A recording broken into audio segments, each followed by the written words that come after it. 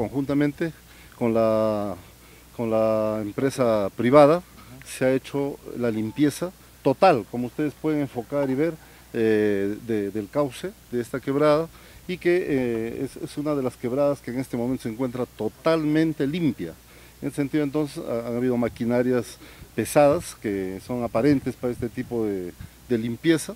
Se ha trabajado por más o menos 18 días aproximadamente y esto con la eficiencia del caso pues hemos logrado en un tiempo bastante corto tener la quebrada totalmente eh, adecuada para poder eh, llevar las aguas de lluvia que puedan presentarse en este invierno.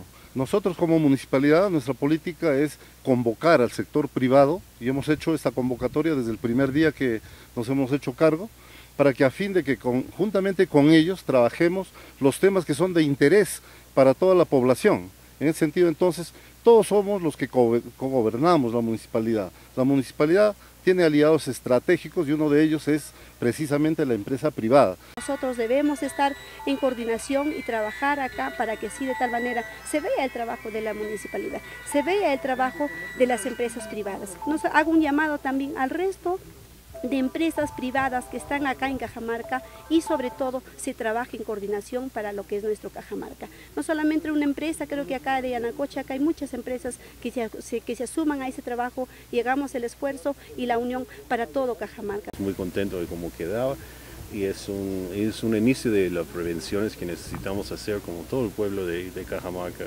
preparando para el fenómeno climático del niño y Anacocha estamos, este, como mencionaste, parte de la plataforma privada, estamos contribuyendo en el prevención y preparación y también este, tenemos varios planes de contingencia para ayudar en caso de hay, hay damnificados, en casos que hay daños. Este, hay tres otros quebradas este, con vulnerabilidad evaluado por, por varias este, instituciones, particularmente de, gobierno este, regional y, y central, y vamos a apoyar en ellos también.